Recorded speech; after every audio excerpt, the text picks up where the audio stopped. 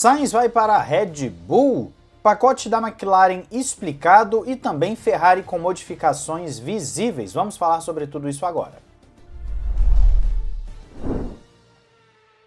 Olá, amigo do Ressaca Fórmula 1, seja bem-vindo a mais um vídeo. Eu sou Matheus Pucci. Pois bem, tem um rumor aí rolando de que o Carlos Sainz estaria muito próximo de assinar com a Red Bull.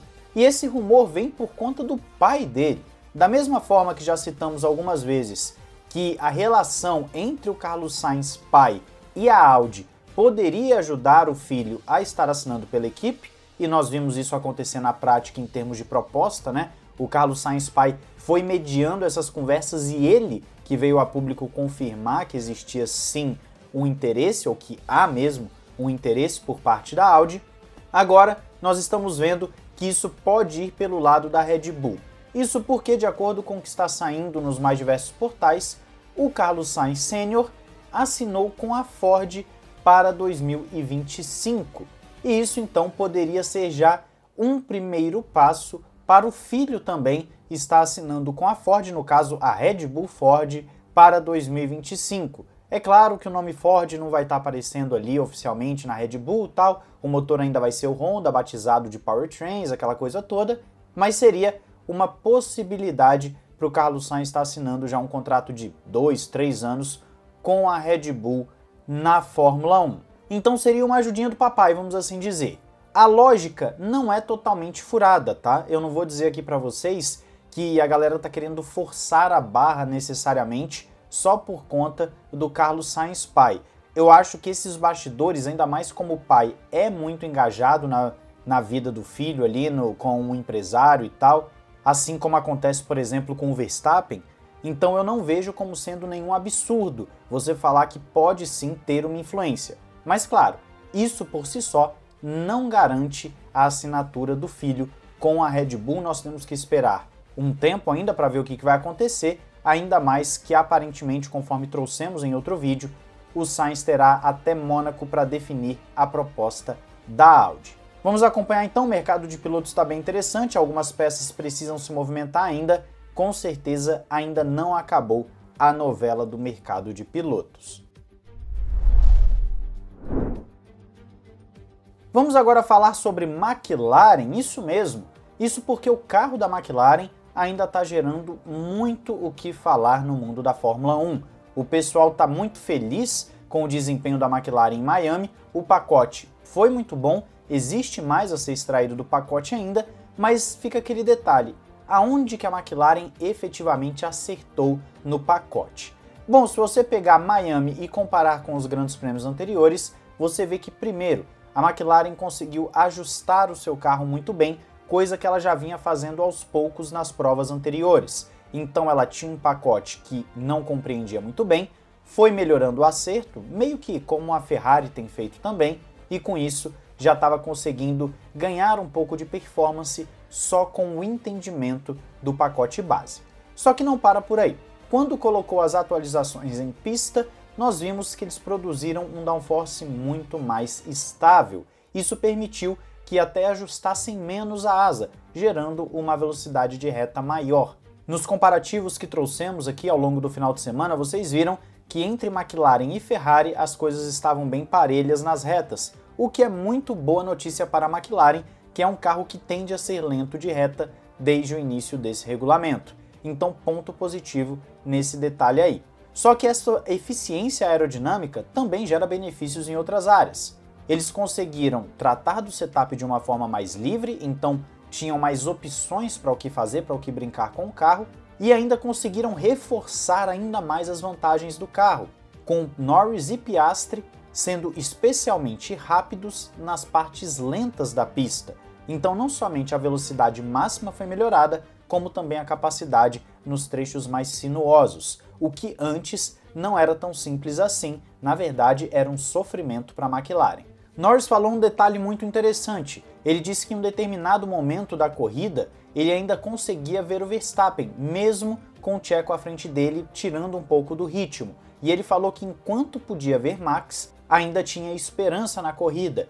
Isso não acontecia nas corridas anteriores. Então, o Lando Norris está falando que o ritmo geral, mesmo ainda ali sendo atrapalhado pelo Sérgio Pérez, foi muito forte, forte o suficiente para manter contato visual com o Max Verstappen. Curioso isso, muito curioso, porque depois ele passou a voar e isso permitiu a ele ganhar a corrida.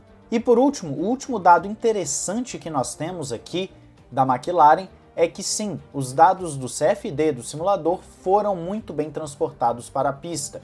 O próprio André Stella admitiu que cumpriram o que a simulação prometia, tanto para o pacote completo do Norris quanto para o do Oscar Piastri. E em uma volta rápida, o carro do Oscar ainda foi mais rápido que o do Lando proporcionalmente falando.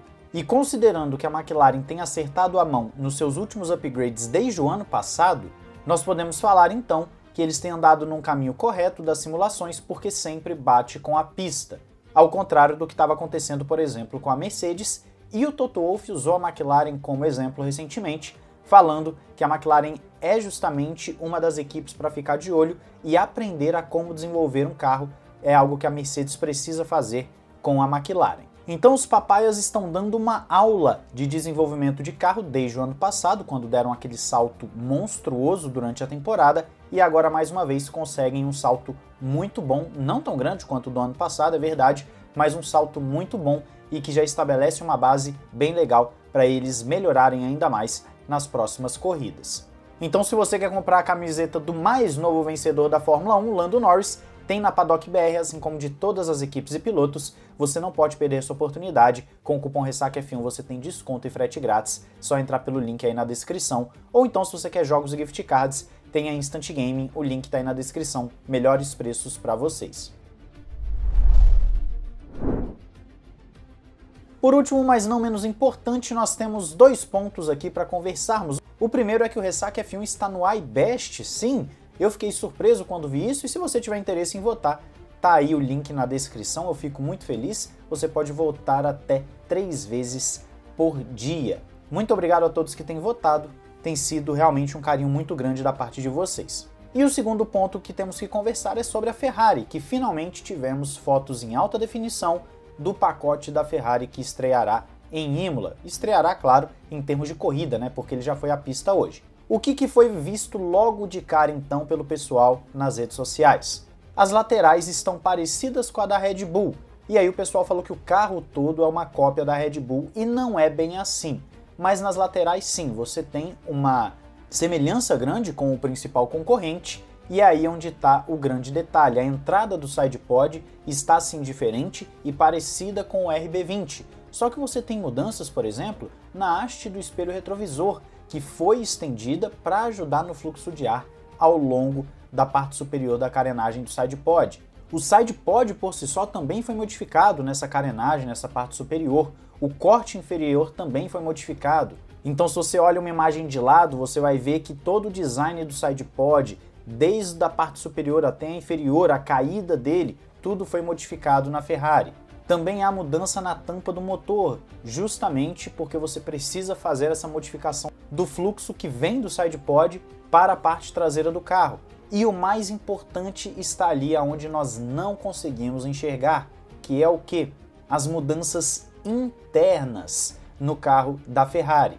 Com certeza, radiadores, resfriadores, acessórios da unidade de potência foram redesenhados para poder se adaptar ao novo pacote algo que a Red Bull também fez. A Red Bull precisou fazer isso para ser agressiva naquela entrada de ar que nós vimos no carro deles desde o início da temporada.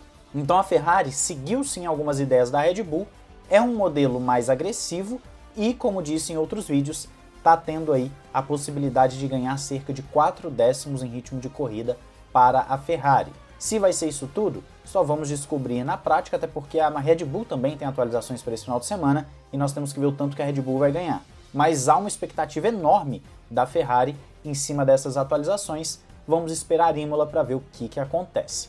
Quero saber a sua opinião sobre todos esses assuntos aí nos comentários. Não esqueça de se inscrever e ativar o sininho para não perder nada aqui no Ressaca F1. Um grande abraço, valeu e falou!